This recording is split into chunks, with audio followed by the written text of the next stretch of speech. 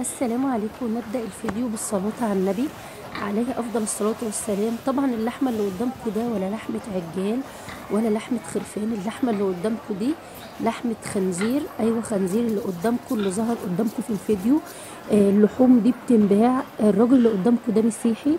آه بيبيع لحمة الخنازير عادي ولا أكنها قذرة. هتشوفوا دلوقتي الخنزير شكله عامل إزاي. الخنزير أجرب ويقرف الكلاب. حتى شكل مناخيره تخلي الواحد يرجع أول ما يبص عليه. يعني سبحان الله ملامحه ونظرة عينه ما تخليش البني آدم يفكر حتى يقرب له.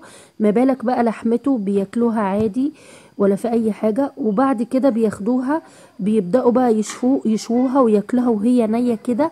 وفي كذا فيديو عملته بطريقة تسوية لحمة الخنازير. بيحطوا عليها ملح وبيحطوا سكر بيحطوا كميات سكر رهيبة. وبيحطوا عليها عسل بيحطوا عليها دم الخنزير طبعا اللي قدامكم ده نوع خنزير برضو خنزير مقرف جدا. مربيينه في البيت. هتلاقي دلوقتي شكل الخنزير التاني اللي طالع من العشة. آه، ده ذكر وانتايه مع بعض. حتى العشة آه، شكلها تقرف الكلاب.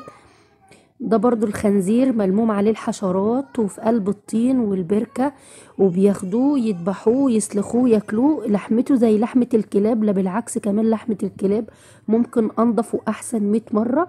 هتتفرجوا على شكل اللحمة بتاعته دلوقتي. لحمته هتلاقيها من فوق بيضة ومن تحت بيضة ومن النص حمرة جدا أو لونها بامبا فاتح.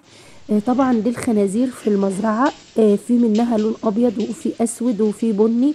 وفي منها جميع الألوان آه، بس في الحالتين ال- كل الأنواع بتاعتها مقرفة وأكلها وحش جدا وبتجيب أضرار كتيرة للجسم وبتجيب ديدان وبكتيريا. ما تنسوش بقى تشتركوا في قناتي وتفعلوا الجرس على الكل.